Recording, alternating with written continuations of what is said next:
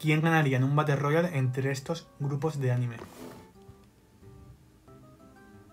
Vale, ya los habéis visto. Yo, de los que están aquí, el primero que descartaría sería, sin ninguna duda, los de Bleach, porque no los he visto. Básicamente por eso, porque no los he visto, entonces no puedo opinar, así que fuera. Los siguientes serían los pilares de Kimetsu, en mi opinión. Luego descartaría los de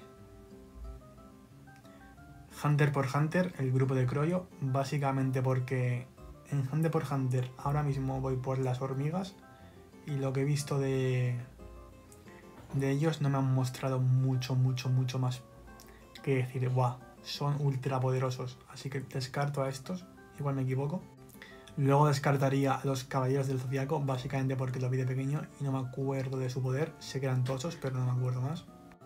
Black Clover la estoy viendo, sé que hasta consigue un power up increíble, ultra chetado, pero voy a quitar Black Clover porque hasta que no me la acabe no puedo opinar al 100%.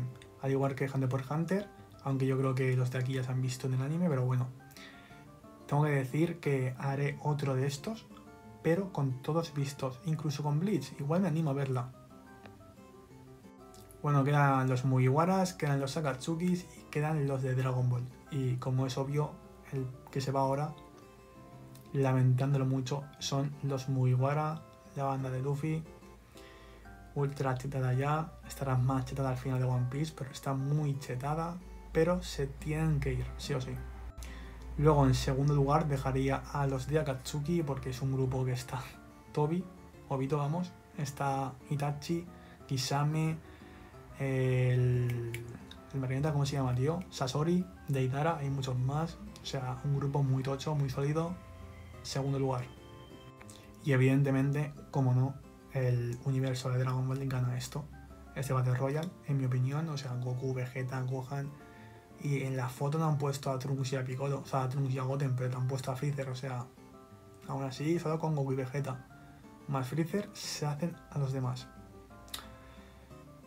Bastante fácil para mí, quitando lo obvio que no he visto, pero bueno,